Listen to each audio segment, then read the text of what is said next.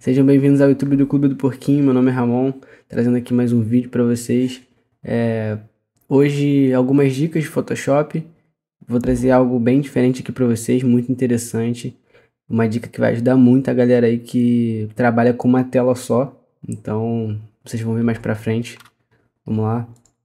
É... Começando aqui, a primeira dica é como copiar o tamanho da imagem direto para o seu artboard, né, para o seu, seu local de trabalho no Photoshop. Então, seja aqui nessa imagem ou em qualquer outra no Google, se você copiar aqui, botão direito, né, copiar a imagem, chegar no Photoshop, opa, pequeno spoiler aqui do conteúdo. Aí você vem no Photoshop, abre abre um novo documento aqui e já tem aqui, ó, clipboard. Então, com a com a proporção exata da imagem que está lá. Se a gente chegar aqui e colar, exatamente a mesma, exatamente o mesmo tamanho da imagem. Então isso é interessante se você quiser né, manter as propriedades da imagem, então você já pega no tamanho certinho.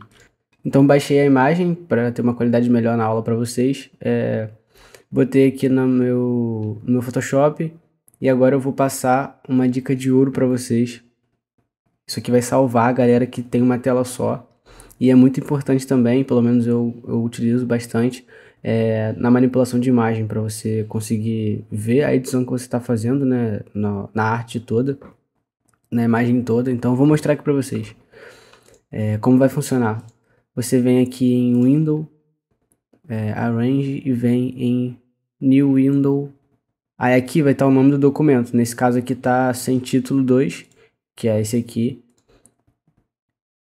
Então você clica e ele vai, o Photoshop vai abrir uma nova janela com o mesmo arquivo, exatamente o mesmo arquivo. Ele não tá não é um outro arquivo igual, é o mesmo. Então você pode vir aqui nessa primeira janela, Window novamente e botar aqui para ter duas telas na vertical. Então agora você tem a mesma imagem duplicada aqui no seu Photoshop. Então aqui você pode deixar a imagem completa, enquanto na outra tela você vem e consegue manipular pequenos detalhes que vão aparecer aqui. Eu vou mostrar para vocês.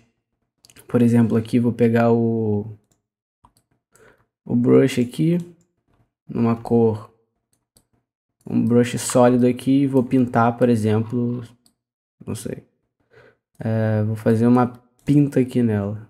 Vocês reparem que podem reparar que já apareceu aqui no outro na outra tela. Então vou dar um zoom aqui para ficar mais claro, ó. Então tá aparecendo aqui. Então toda toda edição que eu fizer, toda edição que eu fizer aqui já vai aparecer é, na outra na outra tela. Então vamos fazer aqui.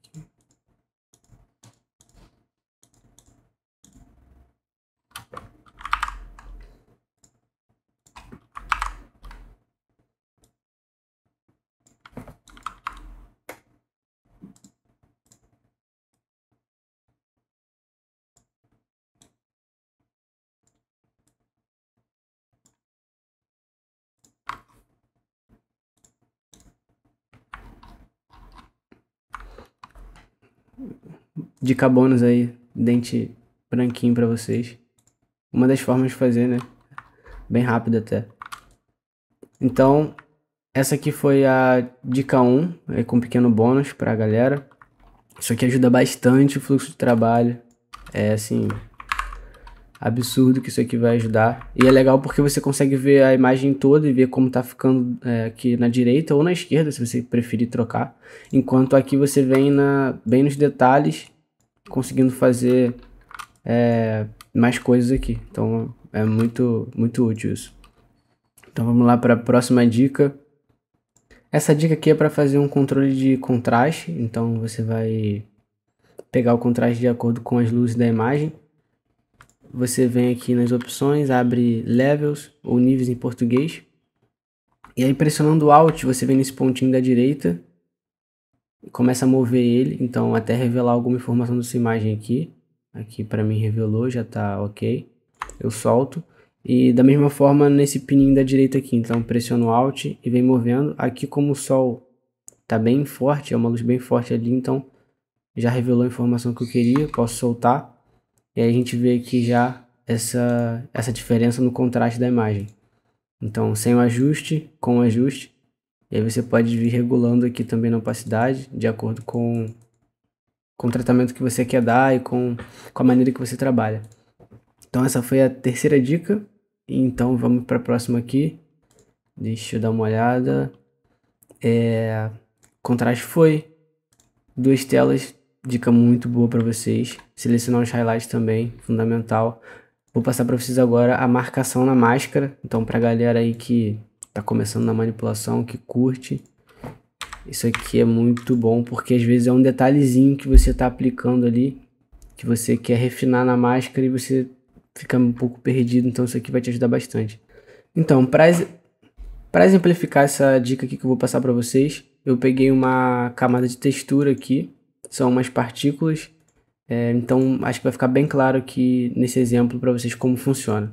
Essa dica é sobre a aplicação da máscara, então o princípio básico da máscara de camada aqui, você aplica ela sobre uma camada e tudo que você pintar de preto nessa máscara vai ser ocultado e tudo que você pintar de branco vai ser revelado. Então, se eu chegar aqui e pintar toda essa área aqui de preto, vocês podem ver aqui na máscara aqui bem pequenininho, tudo pintado de preto, então escondeu a informação que estava aqui. Se eu mudar aqui o, a cor para branco e pintar novamente, vai revelar. Então eu tenho essa eu tenho essa, essa facilidade com a máscara de camada utilizando em cima de uma textura ou uma cor, o que seja. Só que em certos momentos, aqui essa é, essa é a dica para vocês. Em certos momentos eu posso acabar me perdendo em relação ao que eu tô ocultando e não ter tanta precisão assim na aplicação da máscara. Então aqui eu posso eu posso ocultar alguma coisa aqui da corredora. Só que eu não tenho muito essa precisão, por exemplo, nesse momento aqui, que aqui tá claro, aqui tá é, mais escura aqui no tom de pele dela, então eu venho, passo aqui essa, esse brush preto para ocultar, posso acabar ocultando aqui na lateral ou alguma coisa assim. Então, o que eu posso fazer para poder facilitar essa facilitar essa precisão aqui na aplicação da máscara? Eu aperto Ctrl barra, então agora toda marcação que eu fizer com o brush preto aqui, ele vai ter essa tonalidade vermelha. Então aqui, dessa maneira, eu tenho total certeza, né? Então eu consigo ver aqui aonde eu estou passando o brush. E aí não se preocupem que essa marcação ela vai sair naturalmente. Então eu sei aqui, eu consigo selecionar exatamente todo, todo o corpo aqui da, da atleta para poder retirar essa textura que eu não quero que pegue em cima dela. Então fica muito mais fácil, muito mais claro aqui é, para você saber exatamente onde você está aplicando essa máscara, onde você está ocultando né, essa informação da camada. Então eu sei que está aqui no rosto dela e no braço, então aqui eu posso aplicar no atleta aqui também. Então eu, eu tenho total noção que está por toda a extensão do rosto dele. Então fica muito mais fácil, você fica muito muito mais visível aqui, ficar palpável dessa forma. E aí você vem, pode sair da ferramenta aqui. E aí já vai desaparecer essa marcação. Aqui, clicou na camada, pronto, desapareceu a marcação e a máscara está aqui com uma precisão é, bem, bem, bem, bem legal para vocês. Então nessa dica aqui eu vou passar para vocês como criar um efeito de reflexo de lente de câmera, ou seja, lens flare aqui. É, é muito comum quando você tira foto assim, tem uma, um ponto de luz muito forte, então ele cria um reflexo na câmera e é um efeito bem legal. É, vou adicionar aqui para vocês e mo mostrar um ponto importante na hora da aplicação. Então você vem em filtro, render,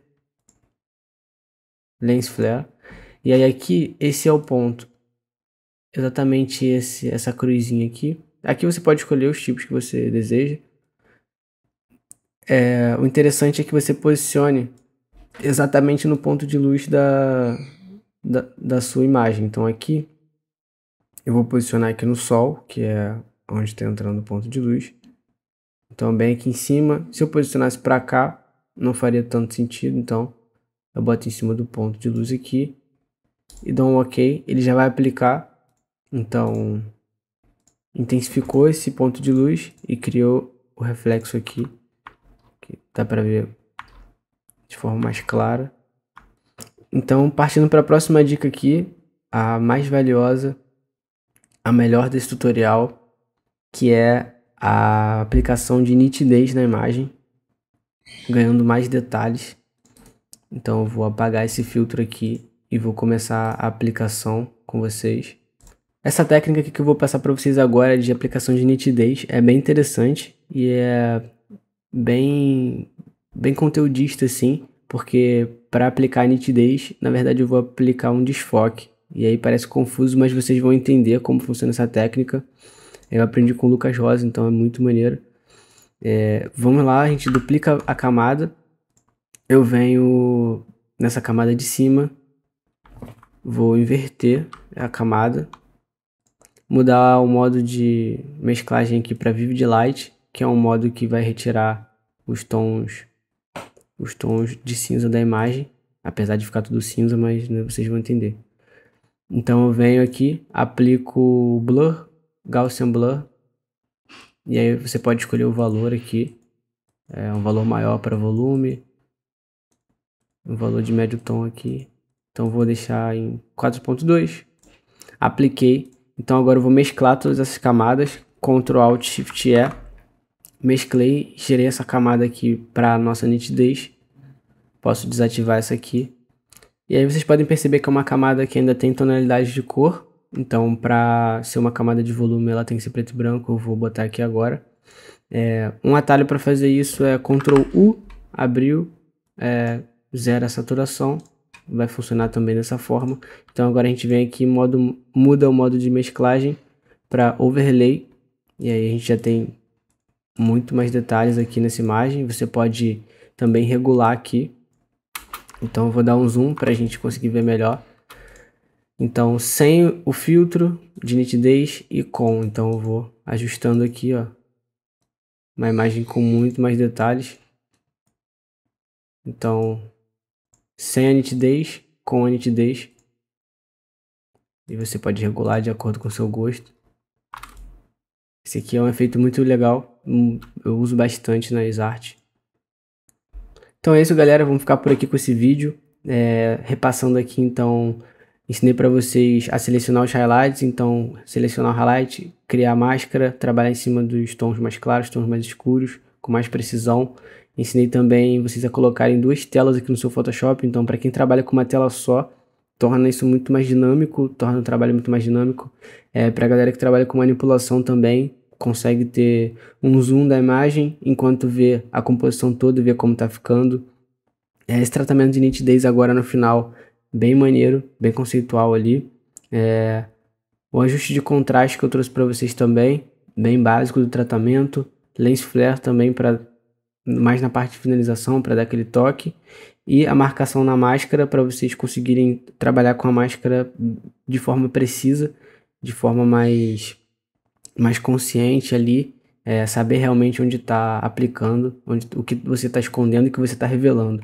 É, então é isso, galera. Espero que tenham gostado. É, pode deixar o feedback aí, um comentário, é, tentando entrar mais nessa parte agora de manipulação, dicas um pouco mais é, complexas, entre aspas, né? E então vamos lá, vamos pro próximo vídeo aí e vejo vocês lá. Valeu! Olá, meu nome é Ramon, vim falar especialmente com você que assistiu esse vídeo até o final, então muito obrigado por chegar até aqui.